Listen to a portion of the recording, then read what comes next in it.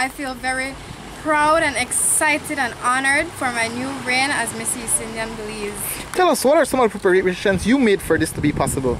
Well, some of the preparations I did to make this possible was a lot of fundraising, um, looking for sponsors. Um, I made so many trips up to Corozal to practice with all the delegates and I made a lot of sacrifices by being away from my family and my home for a very long time and you know um, getting to know new people, learning new things and just to have fun. Alright, so what's next? Well, what's next, Booze, is Trinidad and Tobago. I will be representing Belize in the Diwali pageant in October.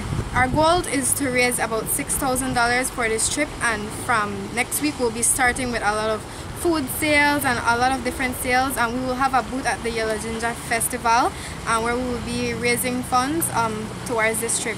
This was all made possible by supporters and sponsors, namely Mr. Will Mejia, who was my main sponsor. Thank you so much. This could not have been possible without you. My aunt, thank you for your determination and your encouragement, Ms. Darlene Magnuson.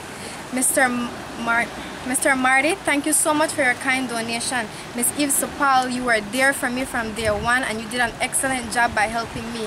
Thank you so much. Ms. Joyce Sopal, thank you.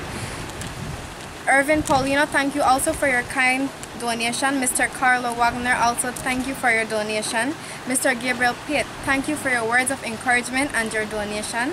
Mr. Egbert Jacobs, thank you also for your donation. And Miss Maria Aldana, thank you so much. Also, thank you to PGTV for allowing me to share my experience and allowing me to campaign. You guys, you did a great job. I would like to also thank those who were able to attend the pageant in Corozal all the way from Sweet PG. I would like to thank Mr. and Mrs. Jerry Parham, Miss Eve Supal, Miss Curlett and her amazing family who was also there with me from day one. You did an amazing job. Without you guys, this could not have been possible. Miss Glenda Supal, thank you for being there. Miss Janice Parham and your amazing family, thank you so much. Mr. Willie Lewis, Thank you for an amazing job and thank you for supporting me. Mr. and Mrs. Ian Jackson all the way from Belize City, thank you so much for being there with us. Thank you to those who could not have made it but I know that you were home supporting me. Thanks for all the nice comments and all the words of empowerment and encouragement. I know that you guys were still there with me even though you could have not been at the pageant. We get to understand you also won other titles. Tell us about this. Yes, we took home two out of five of the titles, which were Miss Personality and Miss Talented.